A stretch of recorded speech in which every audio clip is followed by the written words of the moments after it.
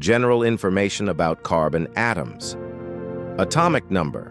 Carbon has an atomic number of 6, which means it has 6 protons in its nucleus. Forms of carbon. Carbon exists in several forms, including diamond, graphite, and amorphous carbon.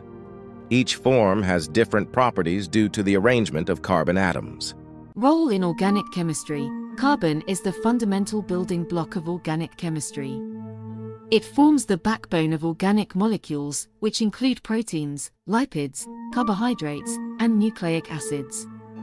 Specific information about carbon atom.